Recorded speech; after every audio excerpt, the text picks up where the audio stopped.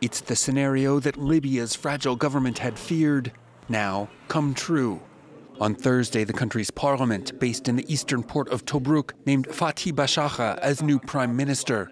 But Libya already has a premier, Abdulhamid Dbeibah, head of the UN recognized unity government based in Tripoli. Dbeibah is refusing to step aside, and the UN is continuing to support him, much to parliament's displeasure.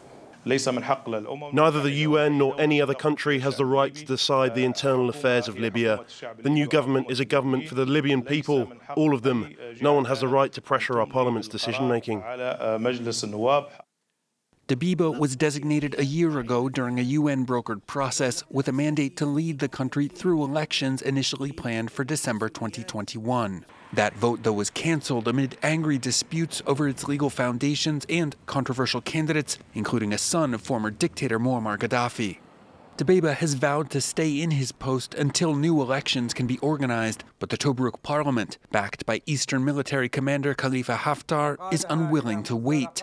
Tripoli residents worry that the dispute will renew a 2014 split that divided the country between two parallel rival governments. I hope there won't be two governments leading to division. It's not logical, even if we are for or against this government. A 2020 ceasefire has so far mostly held up. Analysts say a return to open fighting between eastern and western factions remains unlikely for now.